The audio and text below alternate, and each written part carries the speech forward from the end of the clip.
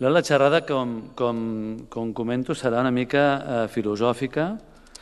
Llavors, eh, se'm va demanar una mica que expliqués què m'havia passat, però ja ho ha resumit el, el Nico, no cal, no, no m'estrendré amb, la meva, amb la meva trajectòria professional, però com veieu és una mica triangular, en el sentit d'aquestes tres ciutats han marcat la meva trajectòria professional, Barcelona, Rotterdam i, i, i Madrid. Eh? I bàsicament recordar que aquí vaig fer, vaig fer la residència aquí, del qual em sento molt orgullós. Eh, va ser la, la meva primera elecció, quan vaig tenir la plaça, podia anar a qualsevol hospital i vaig decidir quedar-me a aquest hospital, on havia fet, eh, havia sigut estudiant, on m'havia avorrit molt, he de dir, les pràctiques d'estudiant, que vaig rotar pel servei de cardiologia, però que em vaig decidir doncs, quedar-me quedar, aquí a fer, a fer la residència. I vaig fer la residència això l'any 91-95, i després, en espera d'anar-me'n, en aquest cas, a Rotterdam, vaig estar fent les guàrdies de Mau, eh, que com tots, no sé si encara existeixen, però que tots eh, patim, o heu patit, o esteu patint a, no, a aquest hospital tan assistencial. I vull recordar aquí, per això està marcat, el doctor Esplugues, Enric Esplugues, que el cap de servei, bueno, el doctor Gausí inicialment, però el doctor Esplugues al final, però que des del punt de vista de eh, meu, de mentor, tant l'Àngel com l'Enric, sigut els que m'han impulsat o m'han empès a, a sortir, a sortir del teu, del teu àrea, del teva, de, de la teva àrea de confort, no? com veureu més endavant. Llavors vaig anar a Rotterdam, vaig estar dos anys allà, on vaig fer de fellow, de, tant de clínica com d'investigació, i on vaig poder, eh, gràcies a, a estar allà amb, amb un grup de gent i amb, eh, eh, liderant tecnologies que no es feien lloc més, doncs aconseguir fer la tesi, la tesi doctoral. I després, l'any 99, doncs, eh, vaig tornar, ja quan el, el termini familiar ja havia caducat, eh, evidentment havia de tornar sí o sí d'alguna manera, o em quedava allà per sempre, que també era una opció, i vam, vaig decidir tornar, el que passa que, com passa moltes vegades, el retorn no és fàcil i no sempre vols, pots retornar on tardaria, si no en pots. I en aquest cas, agraït i realment content d'haver tornat, a, en aquest cas, a, a, a Madrid i d'anar a l'Hospital eh, Clínico Sant Carlos, que realment em va donar, em va, va fer probablement en què em pugui desenvolupar més, perquè tu pots formar en un lloc, però després deixes de tenir el, el, el recolzament del, dels caps d'allà que, que ho tenen tot i estar sol i, i començar de nou, quan tornes al teu hospital o al teu lloc amb el teu nom només, sense que en tinguis al costat 50 noms de gent gran eh, potent a nivell mundial, no és tan fàcil. I realment tornar al Clínic de Sant Carlos em va ajudar a estar envoltat de gent que també estava bastant inspirada en la recerca i motivada i treballant en la recerca i per poder seguir-me desenvolupant, perquè la, realment la recerca no acaba en la, en la tesi, sinó que comença a partir de la tesi doctoral. Després, al cap de sis anys, quan ja pensava que em quedaria a Madrid, doncs em va sortir la possibilitat de tornar a Barcelona, al Sant Pau, en aquest cas, i, i vam decidir tornar. Eh, vam decidir tornar, ja amb tres filles i tal, el qual era bastant complicat, tots aquests canvis logístics, us podeu imaginar que no són gens fàcils, i tot, cada canvi eh, implica un drama familiar important, i, i, i no, no són gens fàcils, però vam decidir tornar i ja en principi eh, no tinc intenció, en que la vida no mai pots dir res, eh, moure'm d'aquesta ciutat, encara que ja veurem, no se sap. I després d'estar quatre anys a Sant Pau, doncs em van oferir anar, anar a l'Hospital Clínic i des d'allà, des del 2009 estic allà. Llavors, clar, quan se'm va demanar una mica quina era la motivació, no, quina, quina xerrada faria? Diu, pots explicar algun dels teus estudis? Vale, perquè és un estudi, però per venir aquí a explicar un estudi a gent que no és cardiòloga i tal, potser el pot sentir bastant eh, avorrit, i a mi que ve explicar el seu llibre, però anem a pensar una mica a això, com motivar-vos a vosaltres, residents que acabeu, que ara donaran eh, premis eh, perquè seguiu investigant, com motivar-vos i com explicar-vos quines són les limitacions que hi han en aquest país i en aquest àmbit eh, assistencial en què vivim. I com tot en moltes coses en medicina, sempre hi ha diversos factors, en aquest cas és una tríada, i tots són paràmetres que poden dependre de l'investigador, del propi hospital o servei on te, et siguis format, o del sistema sanitari, de l'administració, que faciliti o no el que es pugui fer recerca. I això sempre és la interacció de tots aquests factors que fa que es pugui realment arribar a fer recerca en aquest país. No? Anem per l'investigador, que sou vosaltres, que esteu aquí, que heu de començar o voleu començar a fer recerca i llavors hem de pensar que, que, quines coses heu de pensar abans de fer. No? Eh, crec que la decisió és una mica vostra. Vosaltres esteu formats ara en un hospital de tercer nivell universitari, podeu decidir entre esperar, anar estudiant, anar llegint articles i anar veient cap on va la medicina i llavors, en funció dels articles que surtin, aplicar el que altres hagin descobert, aplicar-ho als vostres malalts, o intentar formar part d'aquest canvi, intentar que tu siguis la persona que ajudi a fer algun estudi en el que canvi la medicina.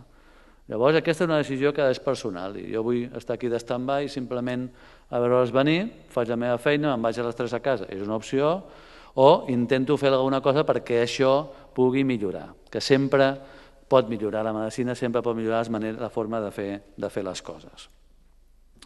Per tant, has de sortir de la teva àrea de confort. La teva confort és venir aquí a les 8 del matí, anar-te'n a les 3, anar-te'n a casa i, i ja està, i fer la rutina diària durant els pròxims 20 anys. I l'Àngel em va dir l'any 96 de que per ser adjunt ho pots fer tota la vida, però per sortir fora no. Hi ha una edat, hi ha un moment personal en el que eh, pots sortir. I a partir de la vida es complica, la vida es complica molt, a mesura que passa els anys, eh, els fills, els pares, els posen mal els pares, has de cuidar dels fills, has de cuidar dels pares i, i, i t'has de moure i cada cop es complica més. Per tant, tot té el seu temps. I tu has de pensar si vols invertir sortint del teu ou o simplement agafes la primera plaça que t'ofereixin, que és igualment lícit i no és criticable, simplement comento que és una decisió personal i m'ofereixen a qualsevol hospital i ja està. I llavors aquesta és la decisió que has de prendre. Ara, per ser adjunt, repetim, ho pots fer-ho durant els pròxims 30 anys de la, de la, teva, de la teva vida. Per sortir fora acostuma a haver-hi un moment en què pots sortir i a partir de llavors ja cada cop és més, molt més complicat. El tema com sortir a fora, finançament. Jo us podia explicar les meves penúries, perquè jo vaig, vaig anar gairebé a pelo i gràcies a que l'Àngel i a les plugues em van donar doncs, uns diners d'un fis que no sé què, que havia estat treballant, i amb això vaig poder anar els primers mesos, un cop allà, buscar la vida. Mentre la, bueno, pel·lícules de cadascú, no? la meva dona treballant fent guàrdies perquè jo estigués allà. Llavors, cadascú, al final, la, la, la vida sempre és una mica ser egoista en un moment donat en el que potser inverteixes per tu però que algú ha d'invertir per què? Per tu també, i, i tot és una mica d'equilibri, i buscar aquest equilibri a vegades no és fàcil. El trobar finançament per sortir a fora és una tasca difícil. Ara hi ha moltes més beques que hi havia l'any 97, afortunadament, però tot i així és complicat. I això s'ha de tenir en compte i s'ha de lluitar i per això s'ha de preveure en temps el poder sortir fora i poder anar buscant una mica com, com finançar aquesta, aquesta sortida. La llengua, la llengua, els idiomes. Bé, ara potser està molt més clar, però fa 20 anys el complex eh, que tenim tots de parlar malament l'anglès, que és complex real, que parlem malament l'anglès i que l'hem d'aprendre, l'hem après, no l'hem après adequadament, evidentment això ja amb els teus fills ja no ho fas i de petits ja els inculques una cosa diferent, però clarament sempre penses que ets el més tonto de la classe i després te n'adones que no és veritat. I això hem de tenir-ho clar. Aquí no som més tontos que la resta d'Europa, perquè parlin anglès no els hi dona un plus extra d'intel·ligència, els hi dona un plus extra de comunicar-se d'una manera més natural. Però si els fem aprendre català amb els anglesos tampoc sabran comunicar-se i per tant no hem de pensar que som més tontos, jo penso que inclús som més llestos perquè tenim coses que, sobretot l'ingeni, la, la improvisació, que aquí estem treballant gairebé sempre amb improvisació, però que segons quins llocs d'Europa tot està super ordenat, super, eh, i no te'n vagis de la norma, perquè si avui és dilluns o avui és dimarts, avui no toca que em vinguis a preguntar com es fa aquesta cosa, sinó que ho has de fer-ho d'aquí dues setmanes, mentre que nosaltres a, a Salto de Mata eh, interroguem, preguntem i demanem ajuda. I per tant, no hem de sentir-nos acomplexats perquè el nostre idioma natural no sigui l'anglès. L'hem d'aprendre i l'hem de saber parlar, òbviament, i per tant eh, eh, no, us heu de llançar. Eh? Per tant, no ha de ser això una barrera. I l'altra cosa és sempre la por a què passarà. Tindré feina? Tindré plaça quan torni? La, la famosa seguretat de tenir una plaça. M'ofereixen anar a una plaça amb l'Hospital X comarcal o me n'he d'anar fora amb una promesa, entre cometes, difícilment eh, complible, perquè eh, les coses poden ser o no poden ser, a més amb aquest sistema actual eh, que tenim, li pots dir, surt a fora que d'aquí dos anys tindràs una plaça. Mentida, ningú ho pot assegurar i, i, i ho pots, jo ja ho veig ara com a cap de servei i, i ho he viscut personalment com a, com a, com a, eh, com a eh, resident d'aquí. Per tant, no és, no és assegurable, però fas una inversió i fas un salt qualitatiu que sí, aquí, quan la gent és intel·ligent, voldrà tenir-te i voldrà tenir-te als millors llocs.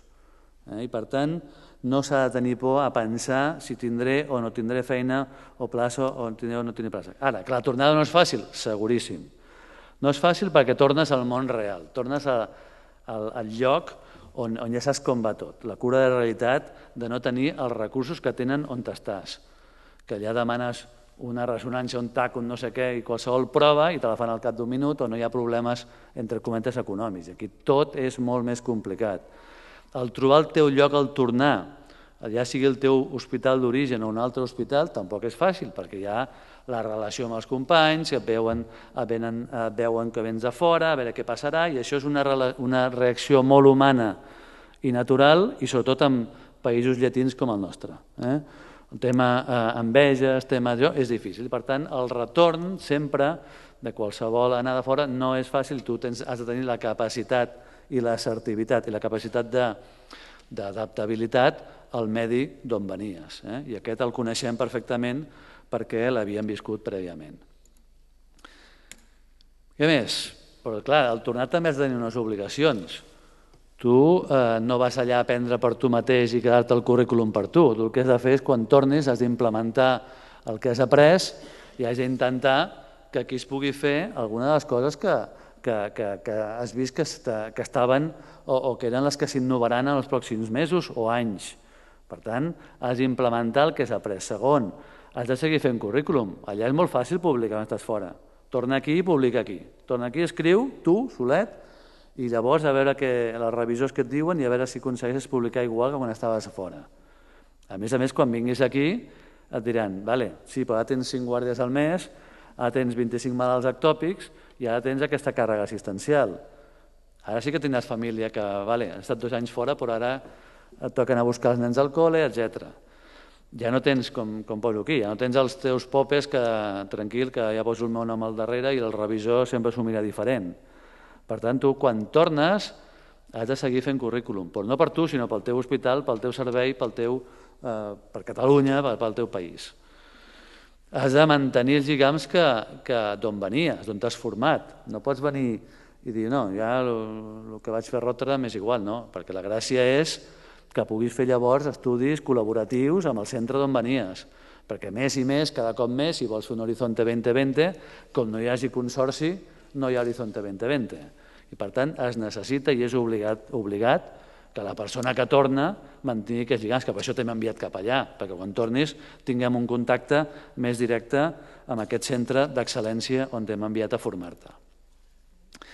I de vegades, com a exemple, allò que dèiem del tornar i tal, aquí la recerca no es veu bé, o, o es mira una mica amb animació. I, i, i llavors poso dos exemples que a mi ara em fa molta gràcia i em fan somriure per dintre, però que en aquell moment eh, et molesta i bastant, no? sobretot quan, quan estàs amb un problema econòmic o que dius, mira, aquesta és una possibilitat, una oportunitat per tornar a casa i un cap de setmana, després d'estar de, eh, cada quatre, quatre, quatre cap de setmanes a fora i venir aquí un cap de setmana i poder veure la família. No?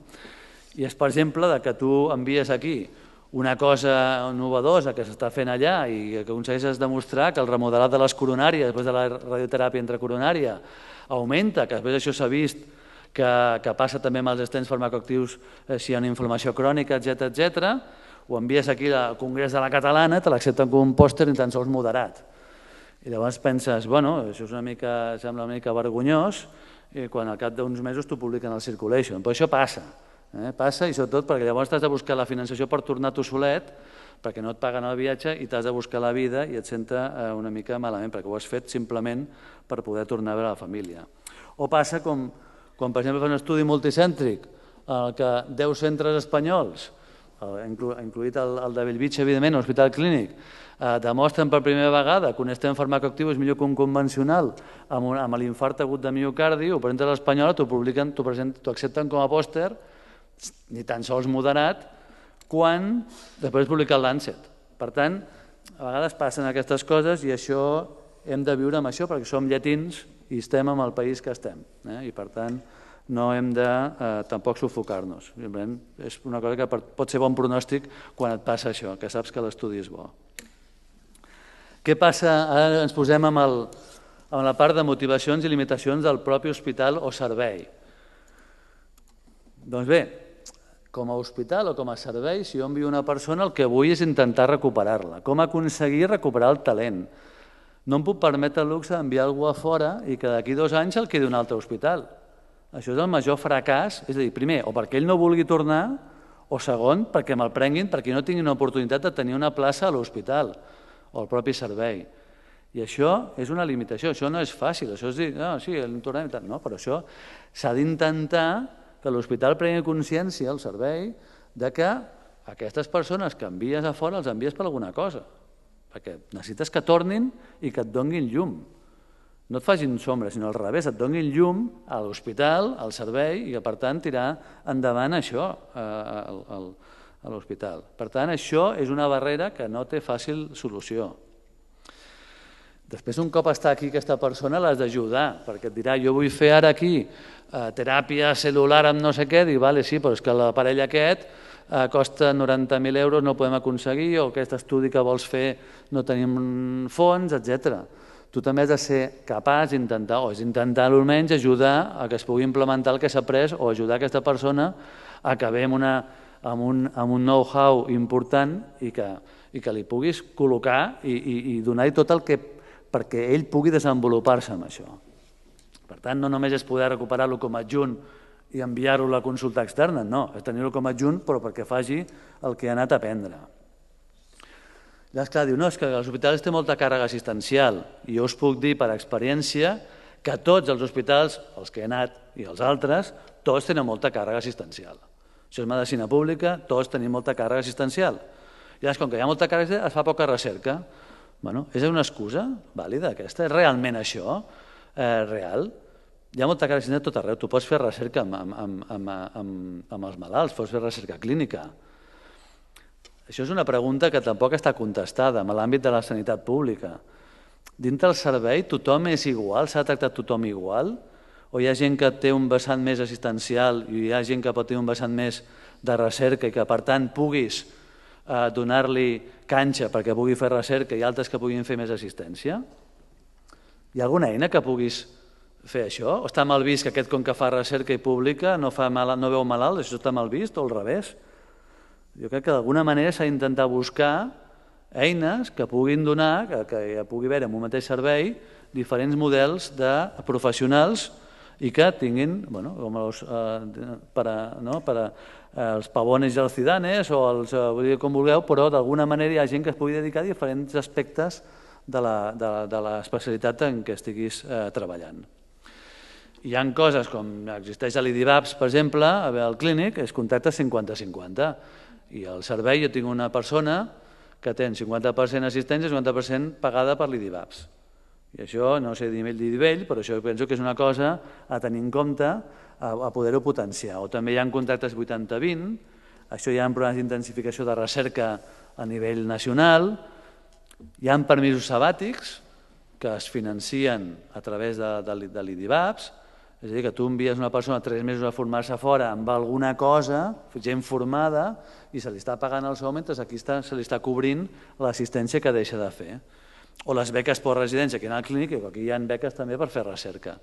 Per tant, totes aquestes coses poden potenciar més a nivell hospitalari per facilitar que pugui venir gent, però ens ho hem de creure, ens ho hem de creure realment i ho hem de fer-ho eh, efectiu. No dir la boca, la recerca és molt important, però després trobes 25 malalts fora del teu, de la sala i vale, recerca però vés a la planta que tens 20, 20 ectòpics. No? Per tant, eh, és un model de... És la idea de creure-s'ho. Eh? Per tant, en un hospital com aquest i com els altres, universitari i terciari, dintre l'ADN eh, hi ha d'estar integrat la recerca, l'assistència i, la, i la docència. Llavors una pregunta és, bueno, és una, com podíem dir, no sé si eh, s'ha de contactar amb un hospital com aquest adjunts que no tinguin la tesi o no tinguin intenció de fer-la o no la tinguin ni en, ni en, ni en camí de fer-la. Aquesta és una pregunta que potser s'ha de plantejar a l'hora de, de, de, de contactar un adjunt nou. No? I això és un exemple que pot ser el mateix que aquest. No? Tenim eh, personal, president de govern, que no parlen anglès, que, no tenen, no? que estan fora de lloc. Això és, és així? Hi ha uns límits, hi ha uns nivells que, que puguem... que això és real, eh? això està tret de la, de la tele i tal, que, que, que, que, que realment eh, podem millorar en aquest aspecte. I finalment el sistema. El sistema seria l'administració. S'ho creu l'administració, això? O no és una cosa del, del, del metge, és una cosa de l'hospital? S'ho creu que, que la docència i la recerca ha de formar part de l'ADN? Perquè creure-s'ho és, és implementar-ho, és facilitar-ho, perquè si ens creiem només que a les llistes d'espera de cirurgia i l'economia, que compleixin el pressupost i les retallades, realment no és creure-s'ho això. I això és una cosa que també s'ha d'intentar inculcar. Perquè tot, ah, sí, innovar això, sí, són molt cars, sí, clar, fer tavis és car, i posar estens farmacoactius, me'n recordo fa uns anys, és, és caríssim, i això no, no incrementa la, la despesa, això segur? En, com ens ho mirem, això? Només amb el malic del malalt que ingressa ens ho mirem de perspectiva general del procés assistencial del propi malalt? Quantes vegades reingressarà un malalt que té un estent d'unes característiques envers d'un altre que té un estent d'unes característiques molt millors? Perquè la recerca millora la qualitat assistencial. Eh? Pot, fer, pot fer millorar els processos, però clar, ens ho hem de mirar des de dalt, eh? no ens ho hem de mirar a nivell propi del gerent d'un hospital que només veu el pressupost que té o de l'Institut eh, Cardiovascular que només veu el pressupost que té. Ens ho hem de mirar des de dalt. I això ha de ser un tema més polític moltes vegades que no pas eh, propi de, de cada hospital. Eh? I aquí hi ha exemples claríssims com les vàlvules percutànees o els assistents farmacoactius que hem viscut històricament. Llavors, simplement us, us faria un resum del com jo com faria un projecte de recerca, les diferents etapes que les persones com vosaltres que comenceu eh, hauríeu d'anar seguint si voleu encaminar-vos en, aquest, en, aquesta, en aquest camp. No? Recordar-vos que això és una cosa de l'any 1972, que aquest reglamento del règim de govern i servici no sé què, diu que les funcions d'un adjunt, d'un facultatiu especialista d'àrea és assistencial docente d'investigació. Això ja ho diu de l'any 72. Evidentment això ha sigut mentida, però no real, però, però això ja ho diu de l'any 1972. I per tant el repte que tenim és integrar aquesta recerca dintre de l'activitat assistencial que fem, que és molta. Per tant, jo veuria diferents etapes. Ja començant pels estudiants. No? Una etapa, eh, l'etapa de pregrau, doncs, eh, jo li he posat aquest nom, però igual pot ser qualsevol nom, una fase de pensament crític, que amb un estudiant li has de començar a inculcar coses que ara veureu. Un cop ja és eh, resident, doncs ja iniciar-lo activament en què comenci a fer recerca. Ja tenir el doctorat, no? el tercer cicle, i a partir d'aquí faci la seva pròpia investigació, que és el propi doctorat. Però després ha de continuar. El doctorat no s'acaba aquí. Ha de continuar i ha de ser capaç de crear línies d'investigació i d'ajudar a que a, a les fases inicials doncs, a facilitar a que es pugui, puguin anar passant de fase en fase les diferents persones. Quan anem a la fase de pensament crític és que amb els estudiants, o si no amb els residents petits, doncs els has d'ensenyar a aprendre el mètode científic, el dir, mira, col·labora amb una cosa que estic fent jo, omple, omple en base de dades, fes, fes recerca bibliogràfica, critica un article, no? aquestes coses, llegeix aquest article, explica eh, per què et sembla que està bé, per què et sembla malament, fes-li revisar un tema, una tesina, això, amb un estudiant eh, li, pots, li pots anar fent. Ja li intentes inculcar. Jo poso aquest exemple que clar, em fa molta il·lusió, no tant perquè és un New England, sinó perquè ho vaig fer durant la residència, que llegint un article del New England vam estar discutint amb l'Àngel, amb l'Enric Espluga, vam fer una carta que va ser acceptada casualment al New England, casualment perquè després n'he enviat 14 més i no han estat acceptades. Però clar, això ho fas amb aquesta fase de, de pensament crític d'un estudi que es va sortir en quan l'Esten era millor que l'angioplastia en valor, l'any 95. No? Per tant, es pot fer, es pot fer, vosaltres ho podeu fer això, perquè això ho tenia a la vostra edat. Eh? Per tant, no és una cosa aquest s'inventa, no, això es pot fer i ho podeu fer vosaltres. Els residents, doncs bé, aquí ja, amb els residents, potser es podria crear figures de tutors que puguin tenir, no? siguin específics d'àrees de coneixement. I aquí podrien ser intensius, de cardiològics, en el cas de cardiologia, evidentment, de valvulopaties, d'autofisiologia, cardiopatia isquèmica, insuficiència cardíaca i trasplantament, cardiopatia estructural, cardiopatia congènites, identificar entre el servei tutors que tinguin, siguin experts en aquestes àrees i que puguin ajudar a iniciar els residents en ganes a formar-se, incorporar-los en línies de recerca i presentar resultats als congressos. I recordo, i aquí veig el Joan Antoni, que fèiem, no? fèiem llavors, fèiem un gran slam, no? que es presentàvem un abstract al Congrés català, l'espanyol, l'europeu i l'americà el mateix any. I això, això es feia durant la residència, això realment en, en, eh, és una cosa que, que, que es, pot, es pot intentar aconseguir i s'aconsegueix perquè ho fèiem. Eh? Obtenir la suficiència investigadora durant la residència, no cal, no cal que sigui el doctorat, evidentment, perquè sí, i tampoc és, des, és esperable que la residència publiquis molt, perquè la residència és per formar-te com a cardiòleg, en aquest cas, o com a la teva especialitat, però sí que començar a treure abstracts i començar a fer coses i a la rotació lliure que tinguis doncs, intentar anar a centres acreditats per, per recerca. Però llavors ja arriba un punt en què has de fer la teva tesi. Llavors sí que aquí has de desenvolupar el teu projecte propi, que ha de ser la base d'una tesi doctoral, que sota el meu punt de vista aquesta hauria de ser per articles, que com a mínim tres o més, com a primer autor, però una cosa que he repetit ja diverses vegades és que la tesi no és acabar la tesi, ja tinc la tesi, ja puc, ja està, ja està. No, la tesi ha de ser com el mètode per desenvolupar-te científicament, per entendre què s'ha de fer per, per, per fer eh, recerca i ser el començament de la teva època de recerca, no al final d'una etapa i mai més publicaré res. Has d'aprendre en aquesta etapa a sol·licitar finançament i beques, llavors has de tenir un director de tesis i tutor específic amb el teu eh, camp eh, de, de, de la tesis i tu com a doctorant podries inclús ser tutor d'investigació amb els estudiants. Podies tenir un paper d'ajudar els estudiants a, a fer això, a búsqueda biogràfica, a aprendre a omplir bases de dades, etc.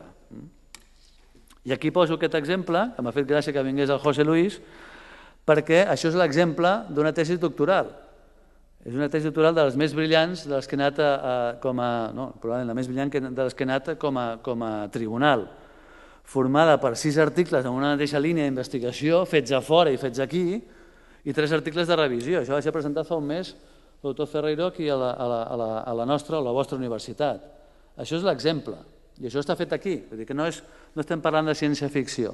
Això es pot fer i s'ha de fer. Probablement és la manera d'inculcar o de desenvolupar-se un amb, amb, amb recerca. I finalment, eh, ja has fet això, llavors ara comença, com començava el doctor Ferreiro, per molta gent, l'etapa en la que tu que has de crear i has de dirigir línies de recerca, i has, i has de ser tu director de, de tesis de, de companys teus. Has eh, la integració d'aquesta, la d'assistència de docència, l'has d'intentar fer tu. Llavors, un pot pensar, dic, bueno, el que es podria fer a nivell hospitalari són carreres professionals en recerca, que puguin anar independentment de l'activitat assistencial. Jo em puc jubilar als 65 anys, jo no vull fer cateterismes, que és el que faig habitualment a partir de fins als 70 anys però al meu cap espero eh, que encara estigui fresc i pugui estar cinc anys més eh, pensant i intentant dirigir o intentant dissenyar estudis. I per tant, per què has de parar-te a la jubilació física en què et, et foten fora perquè no pots portar, no pots fer assistència? Pot anar independent, però això s'ha de crear. S'ha de crear i no és fàcil, pots anar a mirar-ho d'aquesta manera. Tu has de crear línies de recerca i, evidentment, eh, tu pots ser director o has de ser director i tutor eh, específic eh, d'investigació. I, finalment, com a exemple d'això últim, dic, què és el que volem? Veure com va la medicina i a veure què passa i tu dedicar-te llavors a implementar quan surti publicat els articles o intentar treballar perquè això passi. I aquest és un exemple on ja quan vaig tornar de, de Madrid vam fer un estudi amb diabètics amb un estent versus un altre, això es va publicar, això va sortir en metaanàlisis i ha sortit a les guies. I per tant això es pot fer. I això ho hem fet, amb, amb, evidentment, un estudi col·laboratiu amb, amb aquest hospital, amb l'Hospital de Madrid, etc etc, amb diversos hospitals d'Espanya.